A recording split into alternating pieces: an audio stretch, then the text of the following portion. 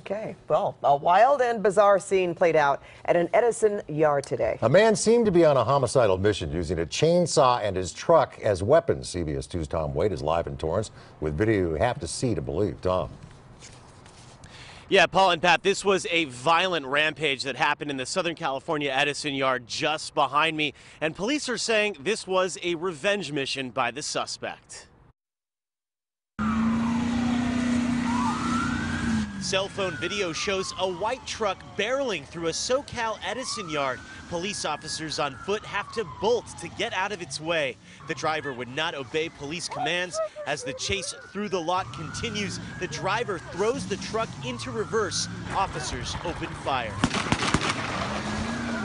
Dino Mendoza was one of the guys who watched this whole thing play out. I was literally in the line of fire. So the only thing was, just, if I make it out of here, see my son one more time. That's all that matters to me. The violent and bizarre scene started with the guy coming to the SCE yard here in Torrance to settle an ongoing fight with the foreman here. The attacker took out a chainsaw when he first got to the property. The security guard tried to come up to the suspect and try to talk to him.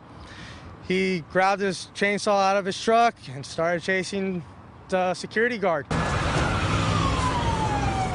guy got back into his truck as police arrived on scene. The chase on the lot ensued.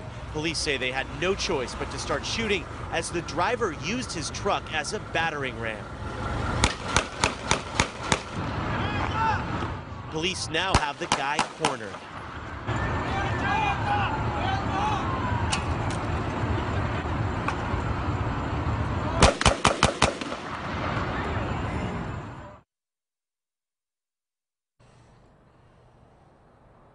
And police were able to get the man to finally give up. And if you can believe this, the suspect was never hit by any police gunfire, just some shrapnel taken to the hospital. He should be okay. The witnesses here on scene say they heard at least 20 rounds, probably more than that, fired at the suspect. Let's go back to you in the studio, Paul Pat. Well, Tom, do we know what the fight was about and why things got so intense?